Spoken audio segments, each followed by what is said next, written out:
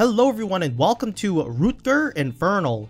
Now you can also use this guide to clear Lunatic and Hard, however, we'll be making an extra turn of attack on Infernal that is only present on this difficulty.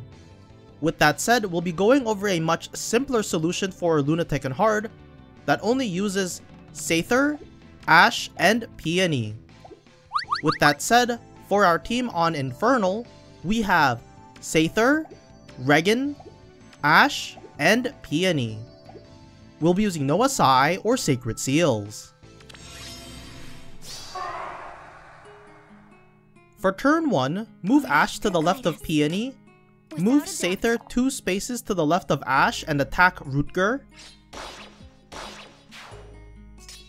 move Peony to the left of Ash and dance Seidr, Move Seidr one space to the left and attack the bow fighter. Then, move Reginn down.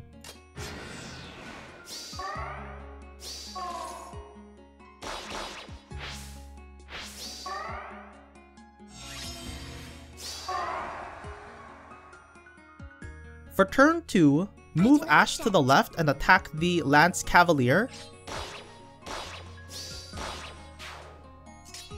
Move Peony to the left of Ash and dance Ash. Move Reginn down to the left and attack the enemy two spaces below Ash.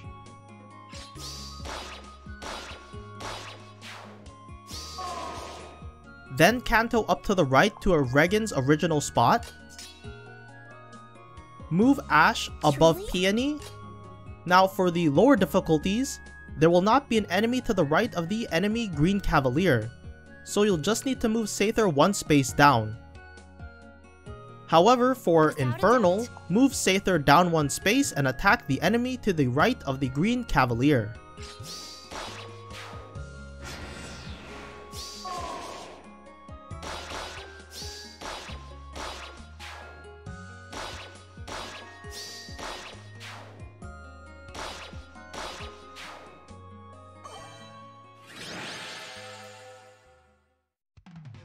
Hello everyone and welcome to Rutger Lunatic. You can also use this guide to complete hard difficulty as well. Reginn here will be a filler unit, so you can replace Reginn with whatever unit you have in your barracks, for example some random armor unit. With that said, for our team we have Seidr, a filler unit, Ash, and Peony. We'll be using No SI or Sacred Seals.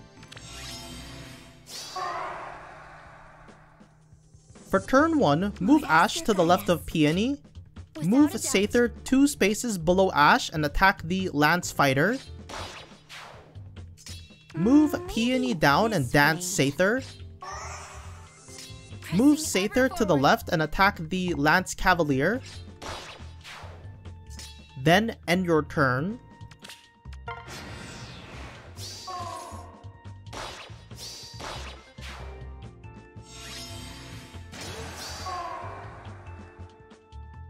For turn 2, move Ash down to the right, move Seidr one space to the right and attack the Bow Fighter,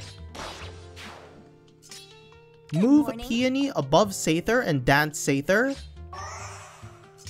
move Seidr up to the left and attack Rutger,